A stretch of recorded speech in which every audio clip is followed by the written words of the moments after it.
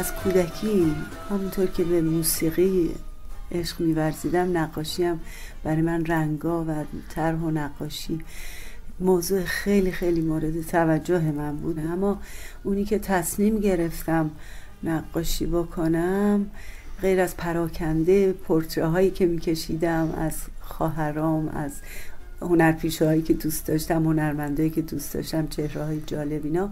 تو دبیرستان صورت معلمامو میکشیدم یا دوستامونو.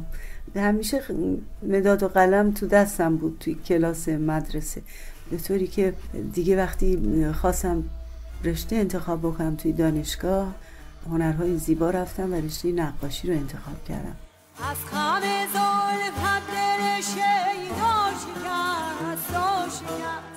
از همه زلفت دل شیدا شکست و شکست.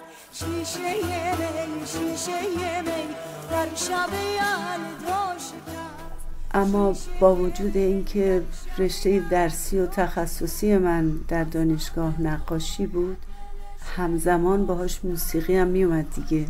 چون می‌دونیم که موسیقی رو هم از برنامه کودک و از کودکی شروع کردم که تو برنامه گلها یا گلهای صحرایی ادامه دادم همینطور موسیقی رو در رادیو ایران. و نقاشی هم که خب رشته تدریسی من بود که من معلم بودم آموزش می‌دادم بعدا این هنرهای زیبا و نقاشی رو توی دبیرستان و دبستان ها به هر حال به این صورت اومد جلو. هر دوش با هم.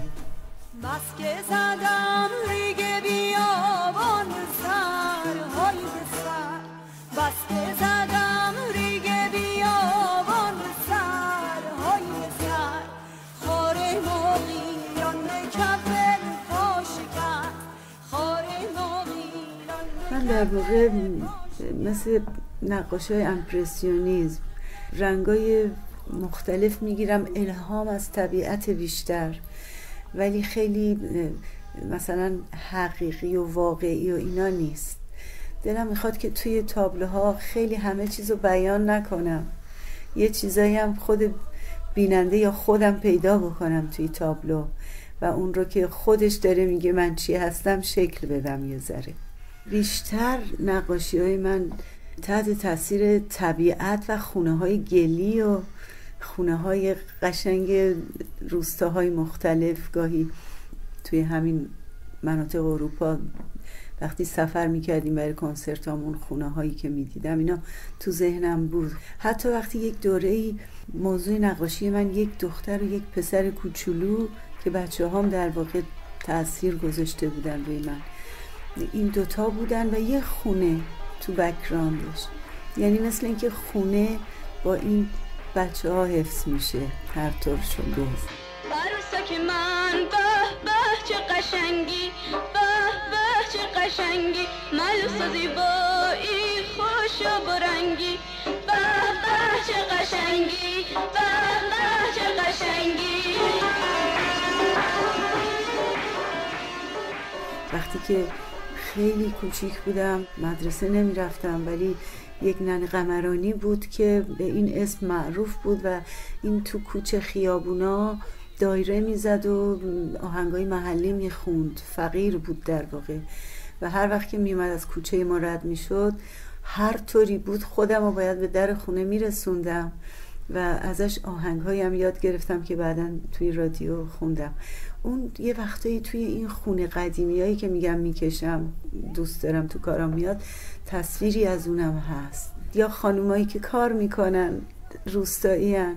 این چهار قدای سفیدی که سرشون می‌کردن زیر گلوشون سنجاق می‌زدن اینا الان برای من یک تصویر شفافی هستن که توی ذهنم هستن همیشه. و من واقعا دوستشون دارم.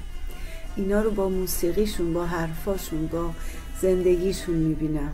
درخت لبید بودم در کنج میشه دلبر دراشی در مورد بازر بتیشه دلبر.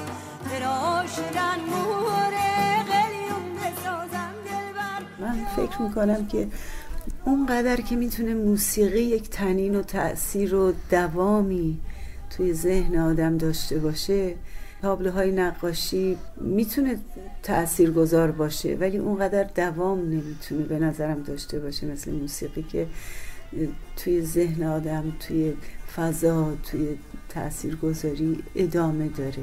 عزیز بشی به کنارم بیقرارم جون تو طاقت ندارم.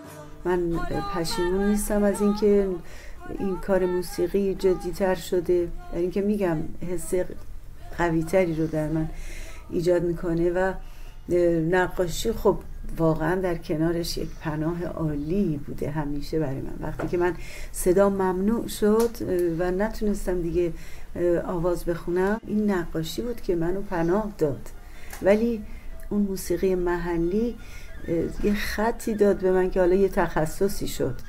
و بنابراین توی اون رشته خیلی کار کردم و حالا بیشتر شناخته شدم از اون طریق و شاید که اون بیشتر اهمیت پیدا کرد توی زندگی من. روزه که بوی گل نیومد